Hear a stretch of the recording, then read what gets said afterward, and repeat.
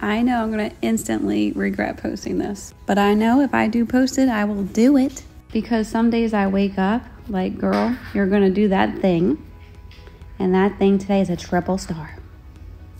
Let that sink in. I'm nervous for me. Okay, let me explain because I'm really talking myself into this one. So, real quick, I've been hanging out on this blue one here, which is a little bit shorter than the pink one. And I can do a double star on the blue one. And now that I have the pink one, um, they're saying I can fit the triple star. I've never done that before. Today's the day, I hope. Worst case scenario, I slam into the crash pad. I don't want to do it. I, I know you have. You gonna cheer me on or what? Sure. If I don't post for a while, you know what happened. Also, don't tell my mom.